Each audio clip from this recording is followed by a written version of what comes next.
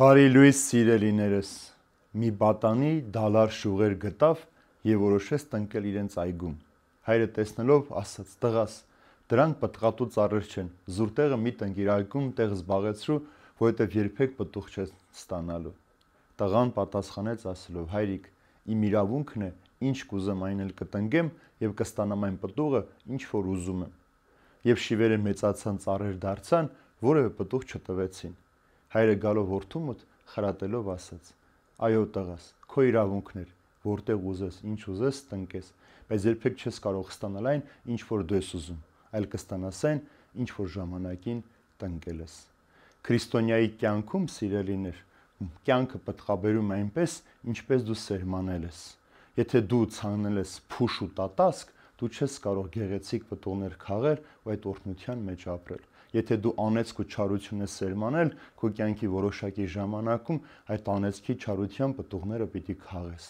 Քո իրավունքն է, ինչ որ դու կուզես տնկել։ Պողոս Արաքյալն ասում է, ամեն ինչ կարելի է մեզ, ամեն բան թույլատրված է մեզ, բայց ամեն բան չէ, որ մեր հոգու փրկության համար է։ Ուրեմն այնպես էլ մեր կյանքի յուրաքանչյուր գործը, խոսքը, միտքը, որ մենք խորհում ենք, արտասանում ենք կամ արտաբերում ենք կամ որևէ մեկին օրհնության կամ անացքի խոսք ենք ասում, այդ խոսքը ասելու իրավունքը մերն է, բայց մենք չենք կարող այդ խոսքից պտուղ քաղել, եթե այդ խոսքի մեջ օրհնություն չկա։ Դու ինչ որ ասում ես, ինչ բառ որ դու ասում ես, քո խոսքը որ դուրս եկավ, այդ ամենը քեզ պիտի վերադառնա օրհնության տեսքով։ Եթե քո շուրթերից դուրս է եկել չարության խոսքեր, քեզ պիտի վերադառնա նեղություններ ու դժվարություններ։ Եթե դու բամբասանք ու հայոյանք ես ասել, տիրոջ ձեռքը քո վրայից պիտի վերցվի եւ դու պիտի մնաս այս աշխարհի մեջ միայնակ։ Ուրեմն ամեն ինչ այգին քո աշխարհն է, քո կյանքն է։ Դու այնտեղ ինչ կսերմանես, ինչ կցանես, դու կհնձես դատաստանի ժամանակ։ Եթե դու այսօր բարի գործեր ես սերմանել,